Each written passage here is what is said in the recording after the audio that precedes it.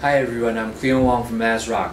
This is ASRock's latest Z170 Extreme 7 Plus, and by the plus it means that besides a pair of USB 3.1 Type-A and Type-C ports on the rear I.O., this motherboard also comes with a free bundled and world's first and only front USB 3.1 front panel.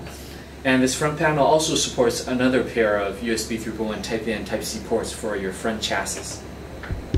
This is another Superalloy motherboard that is specifically designed for enthusiasts and designers. It has all of the Superalloy features and a 12 power phase design and combo caps, which is a combination of two different kinds of Nichicon 12K Platinum capacitors.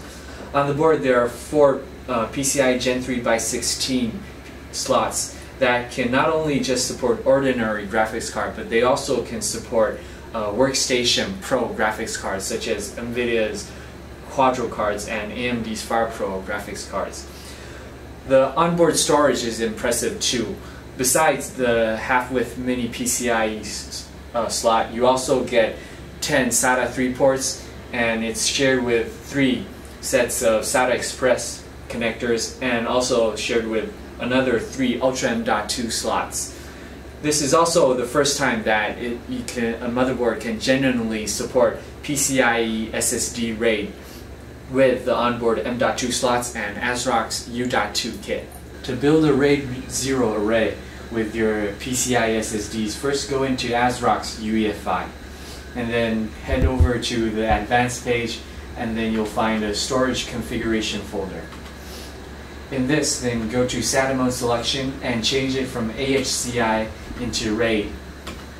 And after changing it to RAID mode, then you'll have uh, launch storage OP-ROM policy it should be at legacy only and so now we have to turn it into UEFI only. And then you can see your uh, PCI SSDs ours is Intel SSD 750 series and just turn these into enabled I have three so I'm gonna enable all three of them. Okay. And then go to exit save changes and exit then restart and go into the UEFI BIOS again this time go into the advanced page as well. But now go to the last folder, Intel Rapid Storage Technology. And then you'll see an option, create RAID volume. Enter it and then the first thing you have to do is enter a name. I'm gonna name my RAID array help me. The RAID level, right now we're going to build a RAID 0. And then select the disk you want to go into this RAID. I'm going to choose X and mark X on all of them. Then create volume. And it's done. Now all you have to do is exit, save changes and exit, and then enter Windows to see your RAID array. Here we have ASRock Z170 Extreme 7 Plus and three Intel SSD 750 series SSDs built into a giant PCIe SSD RAID 0 array. And for the read speed, we've reached 3,561 MBs and write speed 3245 MBs.